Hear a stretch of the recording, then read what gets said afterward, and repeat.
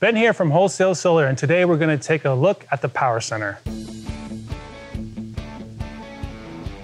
I'm standing here in our warehouse located in Mount Shasta, California, where we design, build, and test many of our customers' power centers.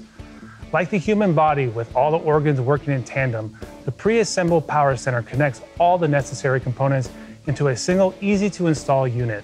But instead of the heart, liver, and lungs, the power center is made up of inverters, charge controllers, circuit breakers, and more. Let's take a look inside one of these rigs so we can check out the different components. Let's go.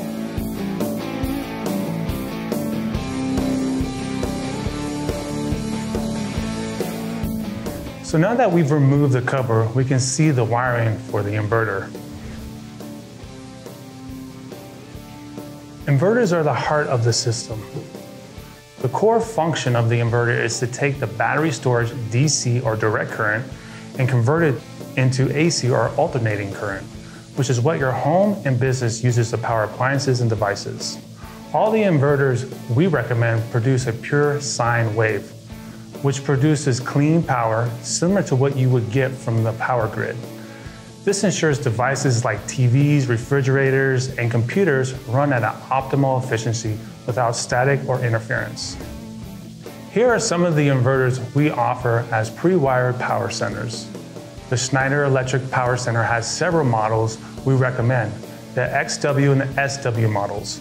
Both provide 120 and 240 volt AC output capabilities, which means it will handle all your typical home appliances and devices.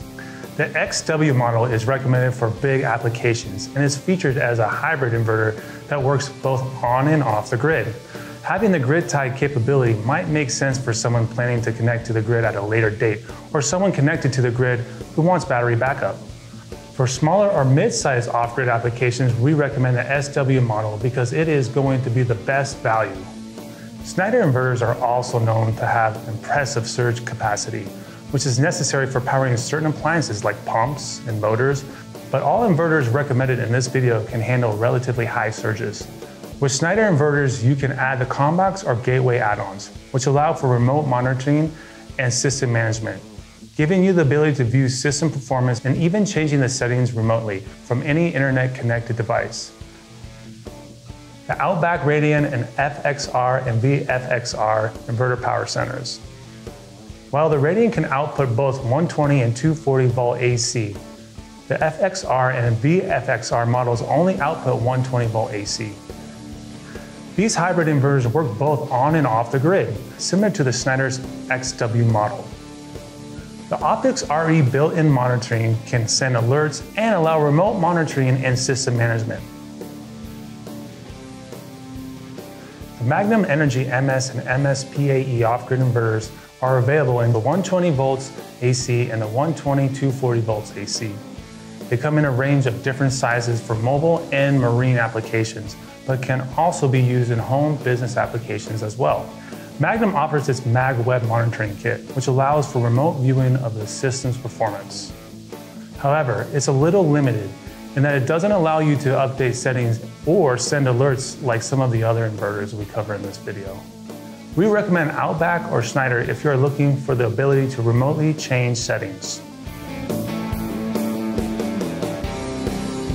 Charge controllers are another critical component in all off-grid systems.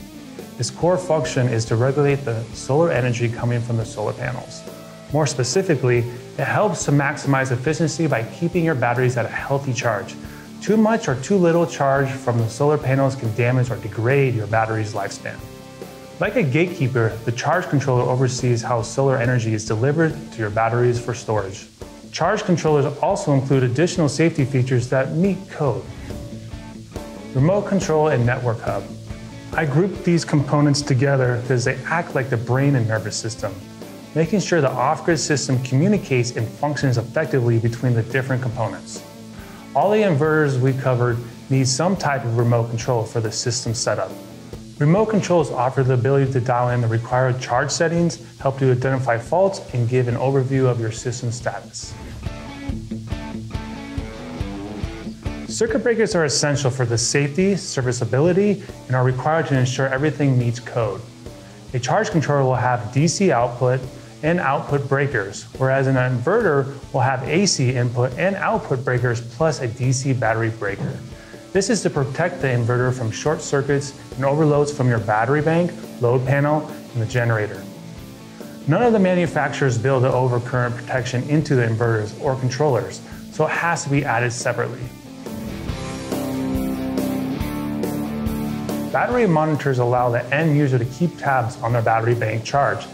Think of it like a car's fuel gauge, which lets you know how much gas is available, or in this case, your battery bank's state of charge. This is important for a couple of reasons. First, if you are using lead acid batteries for your energy storage, you're going to want to keep your battery charged above 50% and regularly fully charged at 100% to get the most lifespan out of your battery bank. Battery monitors provide the following feedback. Maximum and minimum DC voltage. Last time 100% charge was reached. Current state of charge. And they can be especially helpful when you need to troubleshoot. The Schneider Outback and Magnum inverters use shunt-based battery monitors, which are installed on the DC negative wire. For inverters that don't offer a battery monitor, third-party battery monitors can be used from Victron Energy or other companies. A surge protector provides additional protection from power surges by clamping the voltage induced by nearby lightning strikes or other electrical phenomena. A well-designed and carefully deployed grounding system is necessary in order for the surge suppression to function properly. Surge suppressors are not required by code, but we recommend including a surge protector for superior protection for your investment. Automatic Generator Start, or AGS. If you're including a generator into your off-grid setup, an automatic generator start or AGS unit is a great feature to add. An AGS unit isn't necessary, but provides the convenience of automating your generator to start when the battery storage is low or turns off when it is full. This ensures you keep your lead acid battery bank above 50% charged during long periods of insufficient sun hours, which tend to occur during the winter months. Some inverters and controllers can handle a simple two-wire generator start and stop but an AGS may be easier to configure and may be required for certain generators. So just to recap, the Power Center combines AC and DC breakers, inverter, remote, and battery monitoring into one nicely packaged unit. We build our own in-house solutions and partner with vetted manufacturers to provide optimal Power Center solutions. I know we've covered a lot in this video series, and depending on your technical background, some of this may feel familiar, and for others, it may feel overwhelming. Whatever side of the coin you fall on, wholesale solar power centers can save you thousands of dollars in countless hours. Let our off-grid power centers do the heavy lifting for you, so you can be up and running faster, smoother, and with the peace of mind you get from our free lifetime support.